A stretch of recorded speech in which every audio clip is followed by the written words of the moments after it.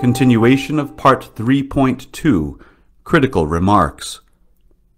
Having ascertained that Cardinal Wojtyła holds the theory of universal salvation, we are also in a position to notice a change in the meaning in the traditional theological vocabulary used in his statements. The thesis of universal salvation supplies the key to the correct understanding of what is really meant. On letter C, the commentary of Cardinal Wojtyła on the conciliar text, the Cardinal, in his commentary on the Pastoral Constitution, Gaudium et Spes, number 22, feels no need to go into an, quote, involved explanation of what he regards as a, quote, very clear council text, nor does he furnish the promised arguments to prove that Vatican II viewed the bridal relationship of Christ to every man as the focal point of that constitution. Instead, he suddenly pursues an entirely different objective. He is concerned about the concept of revelation in the council text which he believes must have an inner connection with the theme of the meditation, quote, Christ reveals man to man himself. Moreover, he proposes only to pick out special points in the council text which appear, quote, new and inspiring. We will concentrate our interests on these new and inspiring points. Cardinal Wojtyła's interpretation of the council text is developed in four steps, on which we briefly comment. The first point.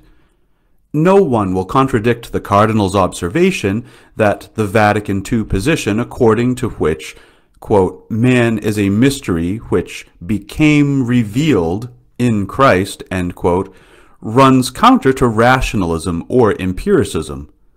But the Church has always held this position, and not just since the last council.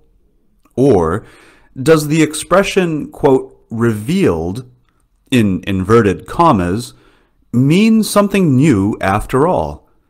Something, quote, new and inspiring in the council text? Second point. The council text should, in the cardinal's view, make clear the, quote, anthropological or even the anthropocentric character of Revelation, end quote, in which he, quote, applies the concept of mystery to man, The words, quote, anthropological or even anthropocentric, quote, do not appear in the council text. Cardinal Wojtyła speaks of an, quote, anthropological or anthropocentric character of revelation, quote, as though it were a theological foregone conclusion. Joseph Ratzinger emphasizes, on the other hand, the Christocentric character of the same text. Footnote In the commentary on Article 22, Volume 14, page 350, quote, one is indeed allowed to say that here, for the first time in a magisterial text, a new type for an entirely new Christocentric theology appears, which, in relation to Christ, ventures theology as anthropology, which thereby becomes for the first time radically theological, Christ as a man in the talk of God, disclosing the deepest unity of theology the nature of this approach is outlined by Ratzinger in the following manner quote, The humanity of all men is one. Since Christ took on one human nature, humanity is henceforth in each man Christocentrically defined.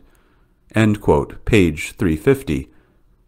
These thoughts, however, have prevailed in Christocentric changes over to the anthropocentric through the thesis of universal salvation, as is the case with Cardinal Wojtyła. End footnote. Cardinal Wojtyła's reasons for the alleged anthropocentric character of revelation, supposedly emphasized in the council text, are by no means obvious. For, as is well known, man is not the only subject which comes under the concept of mystery, but all truths of the Christian faith are rightly called mysteries. For instance, we speak of the mystery of the triune God, the Incarnation, original sin and redemption, the Church and the sacraments, justification and the last things. In that case, one must speak of a theocentric, Christocentric, hamartiocentric, soteriocentric, ecclesiocentric, dikaiocentric, or an eschatocentric character of revelation. Translator's footnote The reader can figure out the meanings of these high sounding words if he knows the Greek roots. Hamartia equals sin, soter equals savior, ecclesia equals church, dikaios equals just, eschata equals last things. End footnote. The mystery of man evidently has an entirely exceptional significance in the theology of Cardinal Wojtyła. Furthermore, the Cardinal's argumentation is by no means self-evident. To apply the concept of mystery to man is one thing. To infer thereby the anthropocentric character of revelation is quite another. The explanation, quote, This revelation is centered on man. Christ reveals man to man himself, but he does so by revealing the Father and the Father's love. See John 17:6. End quote, is a sweeping statement which in no way flows from the council text, yet which plainly manifests the cardinal's understanding of the expression, quote, anthropocentric character of revelation. The next step of his commentary gives the final explanation. The third point. The sentence, quote, revelation is not a theory or ideology, end quote, presents no problems. Classical theology defines revelation, strictly speaking, as locutio Dei ad homines, i.e., God's speaking to men. Hebrews 1 1.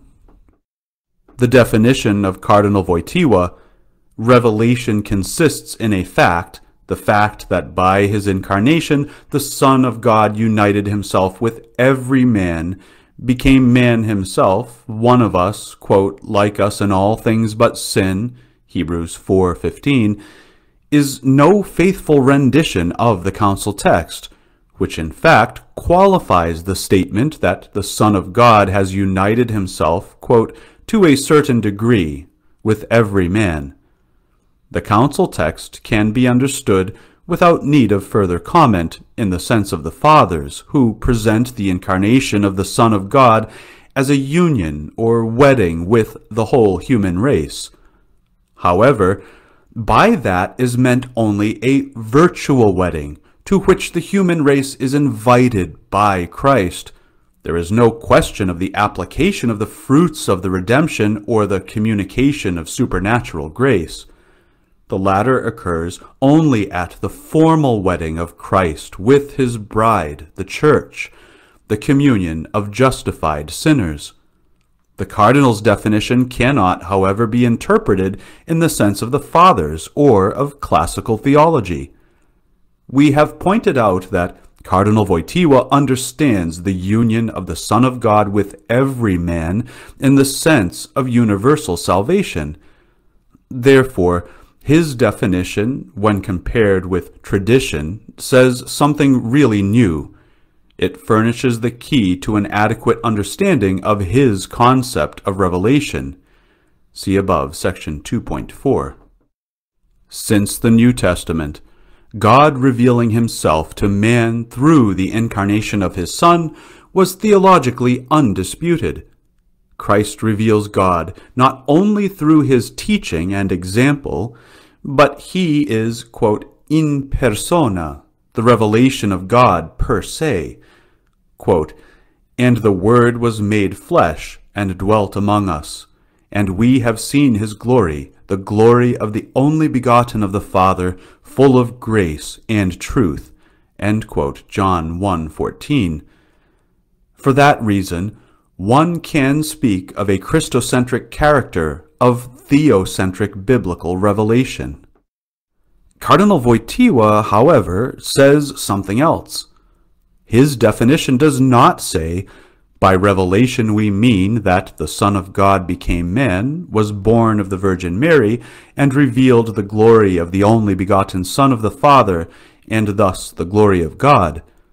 The Cardinal's definition of revelation is different, namely, that the Son of God, through his incarnation, united himself with every man, si e unito ad ogni uomo, and as man became one of us, è diventato come uomo uno di noi. The clash with the biblical Johannine definition is evident. In the Cardinal's concept of revelation, the inner fact of the hidden union of the Son of God with every man corresponds to the outer fact that the Son of God as man became one of us, and consequently as man, also presents our true human existence, or, quote, declares who we are. This shift of emphasis indicates in a subtle way the anthropocentric turning point the union of the Son with every man through the incarnation is the fundamental primary object in the concept of revelation, as well as the key to an understanding of that anthropocentric character of revelation emphasized by the cardinal.